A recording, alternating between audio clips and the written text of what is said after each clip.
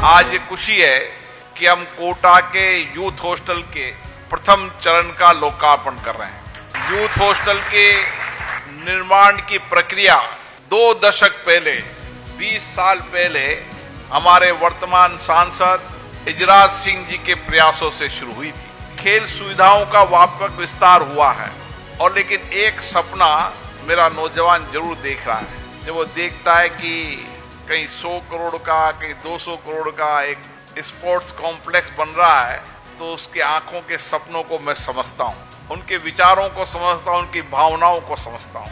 अभी यहाँ पर निर्माण कार्य तो हुआ है, लेकिन वक्त का इंतज़ार करो।